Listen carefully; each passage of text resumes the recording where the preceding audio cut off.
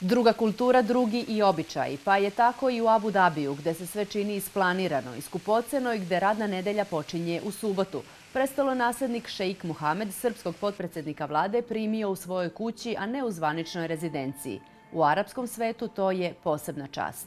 I ono što je važna i velika vest za Srbiju, to je da smo se dogovorili oko svih sporazuma koje smo pripremali i ono što je najvažnije, bit će potpisan veliki ugovor koji će dakle, potpisati Earth, firma, državna firma Ujedinjenih Emirata i Abu Dhabija sa Jugoimport SDPR-om, dakle, našim javnim preduzećem, oko izrade raketa i to će biti najsofisticiranije i najmodernije oružje koje smo mi ikada napravili, a istovremeno uz velika ulaganja, dakle, e, zajednička ulaganja, zajedničku investiciju, naravno, e, značajno više novca daju Emirati nego mi. To će značiti veliki boljitak za, ako mogu to da kažem, slobodno i tri grada, ne samo tri fabrike, dakle Krušik, Kutvu i Teleoptik.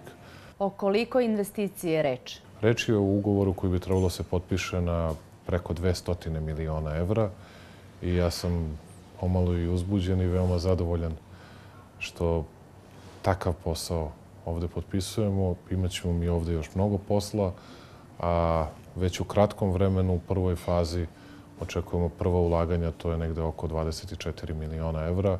A u kom vremenskom roku, s obzirom da ima dosta onih koji ne veruju dok i ne vide? Mislim u naj, toliko kratkom vremenu da govorimo nedeljama.